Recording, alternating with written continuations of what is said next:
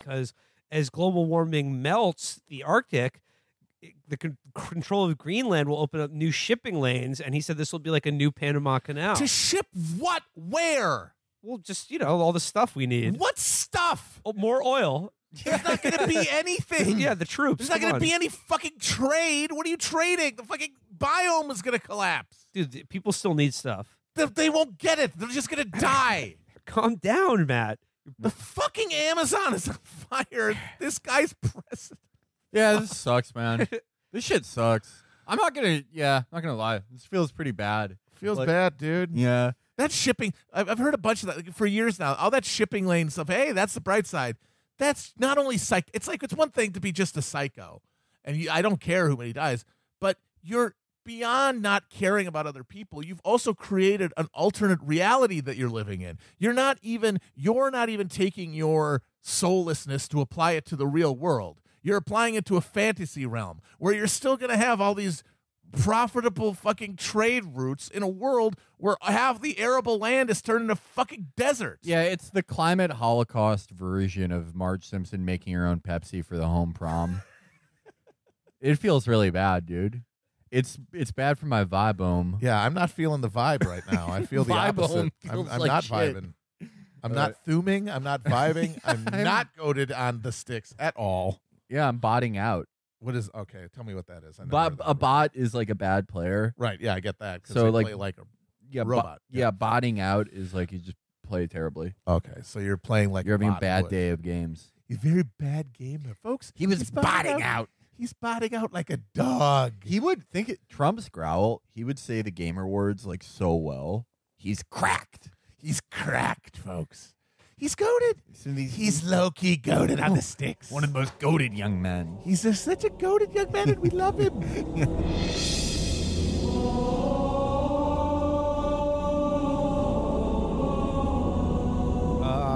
back again. Uh, quick shout out. Uh, thank you to the uh, woman on the train for recommending local favorite uh, Fellini's Pizzeria in Providence.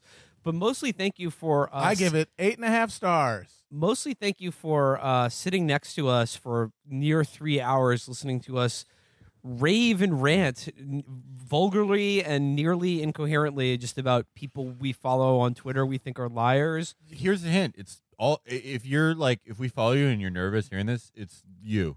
It's 100 percent you. It's all of you. But yeah, like basically overheard a three hour Chapo episode that's uh, you know, the raw uncut dope and thought I'd like to help these young men uh, get a meal in Providence. Yeah, it's like And not like I'd like to call a social worker or the police right now. yeah, like literally every time I like taking the train's like my favorite way to travel. oh, it's the best. like a significant distance. it's the best. Even though it takes longer, it really it actually doesn't take that much longer because I mean you have to account for travel time to the airport, getting there early, et cetera, et cetera. Security. Yeah. Also, like airplanes are poison. They're bad for you. Everyone who yelled at the Wright brothers was correct. the, well, name one way the world has gotten better since airplanes. There's zero. Carbon footprint, very bad. Yeah, awful. Not- beloved, lovely, clean trains. So like I yeah, we love trains, but like yeah, every time we're on them, you get to like sit with your friends in a way you really don't on an airplane unless you're in uh, first class. But uh, even then, not really. But Well, you uh, only like you know there, there's no there's no two there's no two rows of seats in first class that are like facing each right, other. Right, exactly. So like every train ride we've ever taken, we're just like sitting in the like things facing each other, and yeah, for like three to six hours, however long it is, you're just like the entire time, just like, yo, we what what if what if fucking what if Donald Trump like he tried to put a condom on and it like went up his fucking urethra? what if his like sons try to take it out? And like I always like I always like on the Acela, I really don't give a shit because like if you're if you're in like business class, you can just assume the people around you are like lobbyists or fucking whatever. Maybe they work for like one of the three good nonprofits. I don't know. Probably not. But like we were this is just a normal trip to Rhode Island. So I assume this woman was like a physical therapist, which is seems to be like the main job in Rhode Island, I'm assuming. I don't know why. Just one of my assumptions that feels correct and I'm excited for to ask at the show if anyone's a physical therapist and for literally the entire crowd to cheer. But uh she heard that. The thing that caused everyone in the UK to just like aggressively not look at us. The every other train just that annoyed people. She like would cut into the conversation, not like in an annoying way. Like she would contribute here and there, and she told us where to get pizza. So she either like enjoyed it or thought we were like just young men in need of immense guidance. guidance Yeah. yes a guiding hand and yeah you know it's just like hearing us expound upon totally obscure twitter characters that i'm not even going to mention on yeah, the show You don't even get because like you don't them. need like this this is too premium. I don't want to un- unleash the the hounds or hogs. I don't want to blow these people up. Just like all of the the, the true gems the true the true uh yeah the gemstones if you will. If the you're private rich, reserve. Yeah, if you're a rich investor and you and your friends want to pay like two hundred and fifty thousand dollars for an episode, we will come to your your house and do an episode about like a specific, you know, one or two very obscure people on Twitter that we we privately make fun of. So The- yeah, shout out to that woman. Uh, helpful on trans. Okay, back to uh, back to the dipstick. Uh, we're I don't know. I think we, we haven't cracked the frontal lobe yet, but we're you know we're drilling in deep here. Uh, we've done Greenland. Uh, what's next on the agenda? Oh right, uh, Trump saying that uh, he's king of all Jews. Like, I, I love that character from the old early Howard Stern shows from the call-in king of all Jews. Uh, Trump said, uh, what was it? Uh, you know, he was quoting the uh, talk radio host and you know right wing uh, gadabout uh, Wayne Allyn Root, which is the Allyn most Root. serial killer sounding name Absolutely. I have heard outside of John Wayne Gacy. People need to check his crawl space immediately. Wayne Allyn Root, serial killer ass name. A you know he's a long time he's like I, like a, a sort of wannabe Wall Street guy with an enormous mouth and a really stupid face, uh, who said that uh, he was quoting Wayne Allyn Trump was quoting Wayne Allyn Root, calling him uh, the king of Israel and basically the second coming, and or then he said Jews who are American Jews who are still Democrats and still voting for the Democratic Party are either misinformed or quote very disloyal. and he was asked to to whom are they being disloyal? You know, because of obviously uh, Ilhan Omar and AOC, Rashida Tlaib, who he's you know him and again all the all of the other smart conservatives who supposedly hate him believe, of course, exactly the same thing that you know the, oh this is horrible anti-Semitism and you know BDS, et cetera, et cetera. That's the you know the, you know a, a new shine on the oldest uh, you know prejudice there is anti-Semitism. So he said that, and he was asked to clarify uh, to whom are these American Jews who vote for the Democratic Party being disloyal to, and he said uh, Israel. Which I love about that so is that he is blown right through the anti-Semitic trope of Jews having dual loyalty, Yep. and just made it w- one loyalty. There's Single loyalty single to loyalty. Israel. two two countries, one loyalty. And Uh, it's so great because the dual loyalty thing is supposed to be a horrible anti-Semitism. To even suggest that some American Jew would feel a loyalty to Israel that might conflict with their loyalty to the United States, and Trump just goes, "Yeah, no, they're only loyal to Israel. That's their only thing they should be loyal to." Because, and there's a lot of people who speculated this, and I'm 100% certain that it's true. He thinks that every Jew in America is an Israeli citizen, which technically they could be. They could activate that citizenship, but they haven't many of them, most of them, but in his head, they all are. They're all Israelis, and it's their country, and they're being very disloyal to the to the to the great man who runs it. Beautiful, beautiful Netanyahu. He's great. Ben Benjamin Netanyahu. We love him. So, I mean, you know the usual. So, I mean, we've talked about people, these people before on the show, the the trope police, right? Oh yeah. uh, you know, they keep having to find ways to deal with Trump saying insane and actually anti-Semitic things about Jewish people.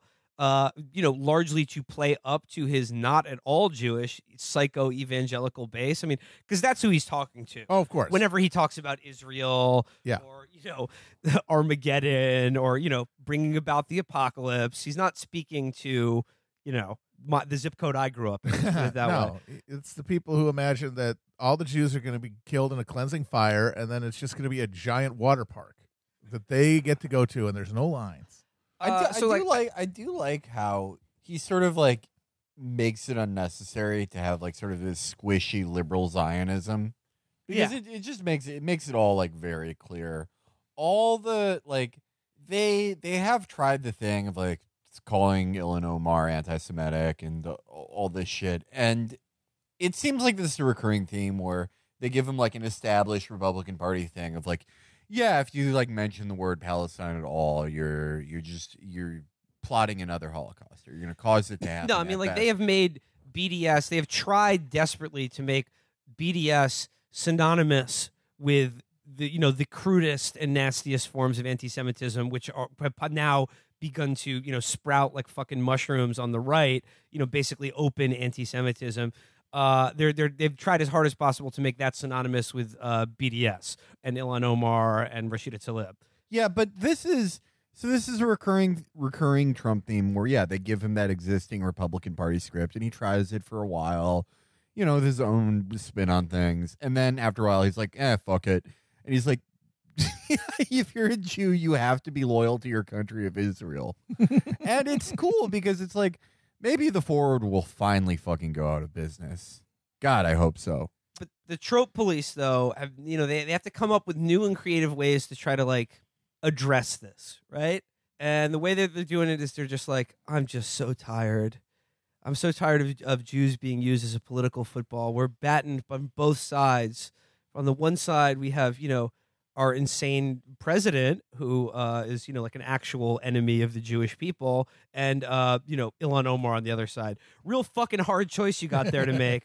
So they have to make Ilhan Omar and Rashida Tlaib seem uh, like the bloodthirsty anti-Semites who actually populate the right wing in this country, and make it seem like it's actually there's nothing harder in the world right now to be, you know, a Jew in America who's in the media and has to comment on this. Oh my god, That It's is so exhausting. No one has it harder.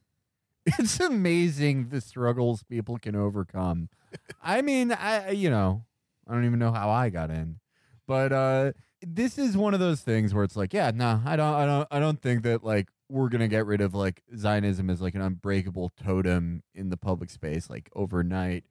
But, you know, one thing one thing that may help is if you can't do the the Wonder Woman, the Pride Parade in Tel Aviv, the all all the trite, you know, shit that Peter Beinart used to do. That's gone. I don't think you can really do that with a straight face anymore. I mean, And Peter I know I don't Beinart think isn't even doing it with a straight right face. exa- exactly. It's gone.